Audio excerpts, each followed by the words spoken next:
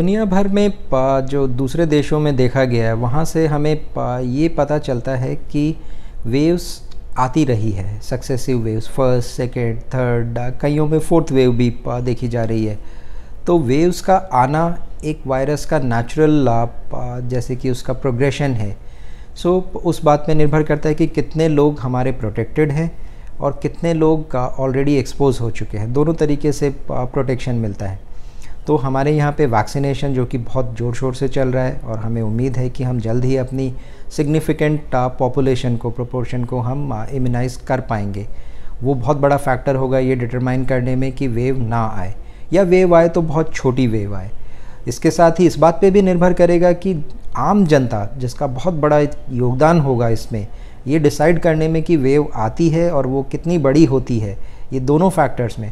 तो हम कितना रिजिडली कितना ईमानदारी से कोविड अप्रोप्रिएट बिहेवियर को फॉलो करते हैं। मास्क लगाना, दूरी बनाए रखना क्राउडेड प्लेसेस पे ना जाना, और अगर आप बीमार हैं तो घर पे ही बैठे रहना। आपको थोड़ा सा भी डाउट होता है, खांसी ज़ुकाम है तो आप अपने आप को और दूसरों को भी प्रोटेक्ट करने की मैंटालिटी से एक्ट करें। तो ये सारे फैक्टर्स डिटरमाइन करेंगे अल्टीमेटली हमारे यहाँ पे कि कोविड की थर्ड वेव कब आएगी और वो कितनी बड़ी होगी।